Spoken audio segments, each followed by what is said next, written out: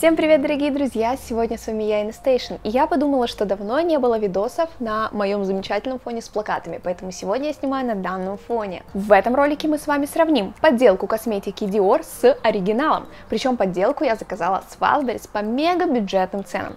Если вам понравится такой эксперимент, не забывайте ставить свои пальчики вверх, подписываться на мой канал и пишите в комментариях, что мне проверить следующим. Первое, с чего мы начнем нашу проверку, это хайлайтер. Как вы знаете, у Dior есть популярный хайлайтер, оригинал которого стоит 5300, там 4 рефила, и этот хайлайтер большего размера, он примерно размером с мою ладонь.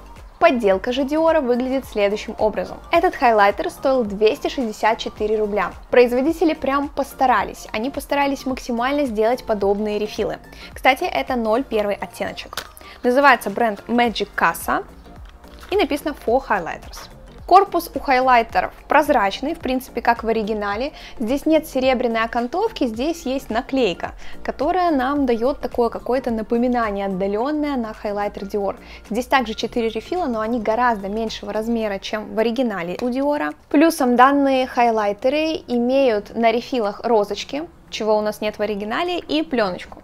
Давайте с вами рассмотрим рефилы поподробнее. Здесь у нас 4 оттенка. Белый, бронзовый, розовый и ближе к коричневому. В оригинале данные хайлайтеры можно смешивать и получать какой-то просто невероятный оттенок. Сейчас проверим, что в подделке. Итак, пробуем наносить на пальчик. Вот так вот выглядит белый оттенок. Больше такой рыжеватый пудровый. Бронзовый, прям темные блестки. И розовый. Давайте теперь попробуем сделать сводчи. Вот таким вот образом выглядят сводчи. Что я могу сказать? Розовый оттенок максимально коралловый, то есть он не выглядит как на рефиле. Здесь у нас прям коричневый, пудровый, такой больше рыжеватый и белый хайлайтер. Текстура очень легкая, хорошо тушуется, то есть хайлайтеры сразу становятся бледнее. Конечно, у них такое не суперское сияние, как на рефилов, но в целом за 264 рубля пойдет. Я бы скорее использовала эту палетку как все-таки тени, потому что слишком яркие оттенки и, конечно, с оригиналом не сравнится. В состав оригинальной палетки, которая называется Dior Backstage, входят также 4 рефила, но они есть в разных оттенках. В данном случае у нас оттенок 01. Давайте попробуем сравнить с самым бледным оттенком от Dior Backstage. Туда входят два хайлайтера белого и золотого цвета и два вида румян, розового и бронзового оттенка. В принципе, похоже на данную штучку, но по нанесению совершенно другой эффект. К сожалению, в данный момент мне не удалось приобрести оригинальные хайлайтеры от Dior, потому что их нигде нет в наличии, но я вставлю вам кадры, как это смотрится. И они оставляют за собой деликатное сияние, максимально невидное, скорее, знаете, такое бликовое, которое очень хорошо видно на солнце, в отличие от этих хайлайтеров, которые оставляют слишком яркий оттенок, и даже при растушевке мы будем видеть розовый, коричневый, пудровый и так далее оттенки. Далее мы с вами сравним оригинал и подделку теней от Dior. Что я вам могу сказать? Я заказала два одинаковых оттенка, просто совершенно идентично. Поделка с Wildberries и оригинал. Оригинал у нас стоит 5500, а поделка 334 рубля. Совершенно разная стоимость. Производители постарались повторить даже упаковку картонную. Но здесь у нас совершенно другая надпись. Можно обратить внимание, что на оригинале коробочку я, к сожалению, выкинула. Внизу написано Dior, а здесь написано Guikami, какой-то бренд, видимо, китайский, Гуиками Backstage. То есть на оригинале у нас Dior Backstage, здесь Гуиками Backstage. И сзади также можно заметить очень много китайского языка, но при этом нам обещают те же самые рефилы. В оригинале у нас коралловые оттенки 007, а в подделочке это 0,3 оттенок. Итак, давайте посмотрим по граммовке. 0,35 и здесь 0,35, 10 грамм, 10 грамм. Все одинаково по граммовке, одинаково по рефилам. Максимально похоже по расположению, максимально похоже по оттеночкам. Вот такая вот картина нас ждет сзади. Это очень интересно сравнивать. Здесь у нас написано большими буквами Dior, то, что я говорила, серебряная зеркальная окантовочка. Здесь у нас тоже серебряная зеркальная окантовочка, но написано гуйками. Начнем с оригинала за 5500. Ну, конечно же, превосходное качество пластика и рефилов, которыми я вовсю пользуюсь. На самих рефилах у нас присутствуют надписи Dior, и также есть хайлайтер и праймер. В палетке 9 рефилов, все они примерно в одной цветовой гамме, хорошо сочетаются между собой. Невероятно стойкие текстуры, которые долго держатся. Классно то, что в оригинале тени очень хорошо тушуются, очень хорошо ложатся, нет никаких комков, они не скатываются, и их можно нанести как плотным покрытием, так и более бледным, нежным. В состав палетки для глаз входит праймер, как я уже говорила, который усиливает стойкость, и 8 пудр, 8 теней, которые можно использовать в качестве теней или подводки, 3 мерцающих и 3 ультрапигментированных матовых оттенка, которыми можно украсить веки хайлайтер и скульптурирующие тени. Что касается гуиками нашей подделки. Здесь все расположено подобным образом. Можно заметить, что на рефилах есть буквы, но это не Dior, это тот самый гуиками. Тут также есть праймер, кстати, который находится, смотрите, под пленочкой, то есть пленочку мы эту можем снять, в оригинале такого нет. Здесь такой квадратик клейкий у нас прозрачный. И у нас отличается очень сильно хайлайтер. Здесь это просто набор больших белых блесток, которые, скорее всего, будут некомфортно сидеть на глазах. Поэтому я бы рекомендовала эти блестки без подложки точно не использовать. Что касается оригинала от Dior, тут мелкие мерцающие частички, которые прямо сейчас, кстати, находятся у меня на глазах. Мы их также чуть позже с вами сравним вблизи они никак не мешают и не попадают в глаза, они не осыпаются. Крупные же блестки всегда имеют свойство осыпаться. Для начала давайте просводчим не оригинал, а подделку. Что я вам могу сказать? Праймер очень жирный, очень неприятный на ощупь. И вот так вот он смотрится, слишком отдает рыжиной. Так, пробуем блестки, как я и говорила, блестки просто термоядерные, это не хайлайтер, это нужно наносить точно на подложку, и просто так на глаза я вам это делать не советую. Далее, коралловый оттенок, такая пудровая легкая текстура. В общем, наносим все остальные и сравниваем с оригиналом. Что касается праймера в оригинале, он вообще не жирный, он имеет более плотную текстуру, и нужно прям постараться, чтобы с ним переборщить. Как видите, цвет уже более приятный и тушуется он хорошо, в отличие от данного, который забивается явно в поры. Ну и хайлайтер, тут, по-моему, все вообще очевидно, что это два совершенно разных оттенка. Ну что, сверху у нас сводчи от подделки, а снизу у нас оригинал. Ну, как вы видите, они попытались сделать некоторые цвета максимально похожие. Например, третий и четвертый оттенок. Здесь они вообще решили все поменять. Вместо фиолетового они сделали какой-то оранжевый. Вместо светящейся такой блестящей бронзы они сделали матовый коричневый. Также пудровый они сделали ярким, сделали металликом, добавили зачем-то розовый, а не коралловый. В общем, оттенки отличаются, решать вам, но я однозначно за оригинал. Также, что я еще заметила, в оригинале у нас более острые углы квадратов у рефилов. Следующее, что я взяла на обзор, это подделка духов от Dior. Оригинал я также не купила, потому что я пользуюсь другими духами, но мне будет очень интересно посмотреть на набор, который я нашла на Wildberries. Набор стоил всего лишь 400 рублей. Упаковка более-менее презентабельная. Белая коробочка, здесь есть ленточка, за которую мы потянем, и откроются наши духи. На обороте, или в данном случае это перед коробки, изображены все духи, которые нас ждут.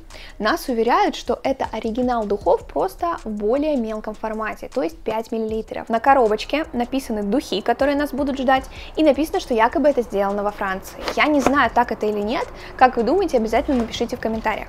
Что мы получаем в наборе? Первое, что я вижу, это то, что нам в подарок положили маску. На самом деле маска, скорее всего, китайская, Самая обычная, сзади все написано на английском. Маска с медом, скорее всего, какая-нибудь увлажняющая для всех типов кожи. Ну и, конечно же, вот так вот выглядят прикольно сами духи. Что мне понравилось, что здесь есть даже тюбик духов, который похож на блеск для губ, который мы с вами позже сравним оригинал и подделку. Также здесь есть очень известный аромат Miss Dior. А, кстати, малютки, вот такие вот я видела в улыбке радуги, но вряд ли это Dior. 5 флаконов различных, с различными ароматами. Первый флакончик, который я достаю, прозрачный, с пупырками. У него очень интересная крышка. Сейчас мы с вами посмотрим, как она открывается. Все блестки сразу осыпались, уже говорит про качество флакона, но мы флакон открываем. Здесь нет никакого абсолютно дозатора. Смотрите, как он открывается. Все сразу вываливается, отваливается. По аромату сразу очень ярко выраженный аромат. Это у нас аромат Dolce Vita. На упаковке это написано, на самом же флаконе нет. Из чего делаем вывод, что это точно не оригинал Диора. Такой восточно какой-то древесный аромат, Мне он кажется дешевым или ароматом, который носят прям взрослые женщины, я бы сказала так. Я бы его однозначно не рекомендовала, и плюс смотрите, как все осыпалось, сразу все после первого же применения. Я этим духам ставлю 5 из 10, мне не очень. Давайте смотреть следующее. Следующий аромат Miss Dior. Тот самый аромат, который знают многие. Тот самый флакон, который видели многие. Ну что, упаковка уже получше. Да, у меня до сих пор остались блестки после предыдущих духов. Здесь никаких блесток нет, здесь просто минималистичная прозрачная упаковка, сами духи какого-то желтого оттенка и есть бантик на крышке. Опять же таки, нет никакого дозатора, все вот так вот. И нюхаем. Ой, это уже другой аромат. Это уже более сладкий, прям персик. В общем, знаете, это должны быть цветочные духи в оригинале. Настоящая такая классика женская. Мне это напоминает персик. Также я вижу, что здесь очень криво наклеена наклейка. Эти духи мне понравились, я бы, наверное, сама даже такими пользовалась. Им я поставлю 8 из 10. Все-таки не пахнет дорого, как должен пахнуть Dior. Следующие духи у нас без названия, но вы точно видели этот флакон в оригинале. Он очень популярный, смотрится стильно. Тоже жалко, что нет никакого дозатора, 5 мл. Открываем нашу башенку и смотрим. Точно не мой аромат. Слишком сладкий, слишком насыщенный и не могу понять, какие духи мне это напоминают. Но это точно не подростковые, не детские духи, не женственные. Я этому аромату ставлю 4 из 10 точно не мое. Далее идут духи, которые называются Hypnotic Poison. Вот это уже интересно. Может быть это роза, красная, бордовая упаковка, цвет духов не виден, сам флакончик маленький, также без дозатора, просто открываем крышку. Угу, тут уже у нас женственность, более строгий аромат. Вот этот аромат больше похож на диоровские духи. Это не цветочный, не сладкий аромат однозначно. Больше такой какой-то спиртовой. Я ставлю этим духам 9 из 10 потому что они больше похожи на дорогие духи. И тот самый последний флакончик, который выполнен в виде блеска масла для губ от Диора, называется Dior и непонятное слово дальше.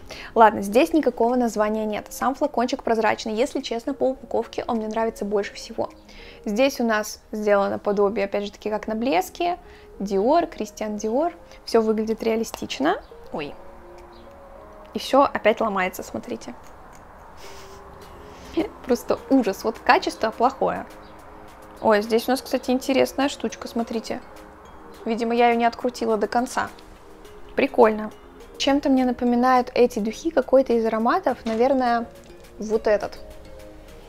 Прям очень похожие, возможно, возможно это одно и то же. Мне нравится, что духи отдают розовым оттеночком, пахнет цветочками, приятный достаточно аромат, сладкий. Ему я поставлю 8 из 10, но упаковка страдает. Под все духи в коробочке есть место, вы можете это также аккуратно сложить. Здесь ничего нет, это самая обычная пластиковая подложка.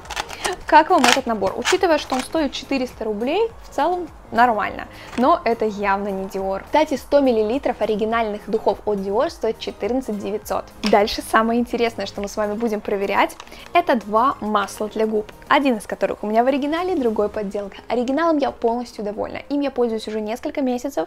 У меня оттенок Cherry, по-моему, да, Cherry Oil, 0,12, просто потрясающе подстраивается под губы. И я заказала тот же самый оттенок Swalberries. Здесь у нас ничего не написано про Dior, а, но максимально похожая упаковка. Написано также Lip Glow Oil, написано, что здесь также 6 мл, и написано, что это тот же самый оттенок Cherry, только он тут 15, а здесь 12. Ну что, давайте сравнивать. Погнали! Они попытались сделать максимально похожим упаковку, но что я могу заметить? Вы видите это? Оттенки абсолютно разные, хотя написано, что это черри. Сейчас будем разбираться. Итак, погнали. Здесь они постарались очень очень повторить надпись, но что-то пошло не так, мы все равно видим, что надпись отличается по шрифту. Крышка вроде похожа, но нету той самой пимпочки. В остальном упаковка идентична, но здесь более острые углы у квадрата, чем у оригинала. Оригинальное масло стоило 4 500, а подделка 370 рублей. Погнали сравним. По открытию открывается более жестко, и вот так вот выглядит сам флакончик. Здесь у нас открытие идет более мягкое, вообще не слышное, И вот так вот выглядят флакончики со стороны. Здесь прозрачный под цвет упаковки, здесь серебряный под цвет крышки. Давайте сравним кисточки. Так, плотная большая кисточка в подделке. В оригинале она более большая, как мы можем заметить, более пушистая, но по структуре они очень похожи. Вообще, в чем суть этого бальзама масла? Оригинал оснащен супер технологией пробуждения цвета за счет того, что вы его наносите. Он сначала такой прозрачный, а далее он подчеркивает цвет ваших губ, при этом делая супер увлажнение. Смотрится этот бальзам на губах невероятно. Я его просто обожаю и однозначно оригинал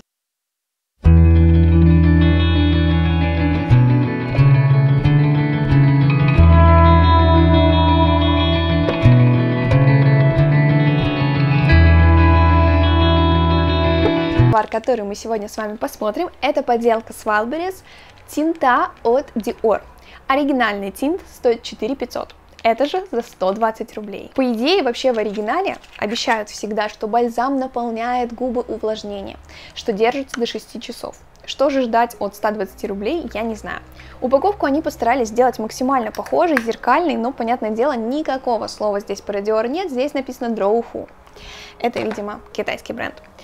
Сам тинт, сейчас я вам вставлю, как выглядит оригинал, достаточно хорошая копия, но все равно не то. Все равно не то, они попытались сделать ту самую пимпочку, но непонятно вообще, какой оттенок, что нас ждет. Открываем и получаем вот такой вот прям ярко-розовый тинт. Давайте попробую его нанести. Ну, явно не диоровский цвет.